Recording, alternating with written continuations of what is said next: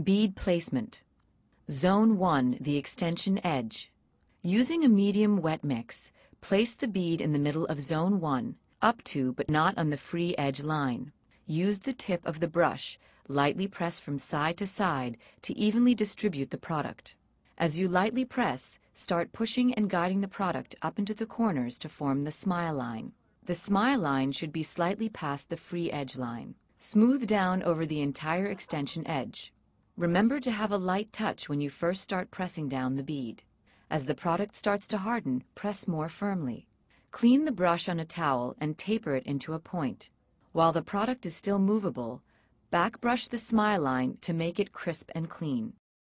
Zone 2, the stress area. Using a medium wet mix, place the bead in the middle of the nail plate next to the smile line. Do not overlap the smile line.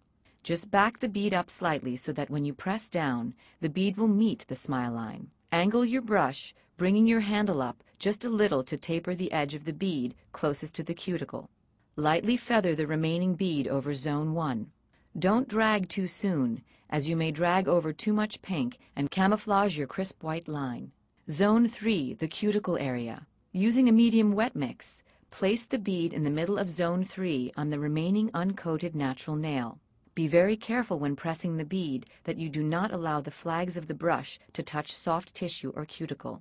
Your brush should be at a 45 degree angle to the nail.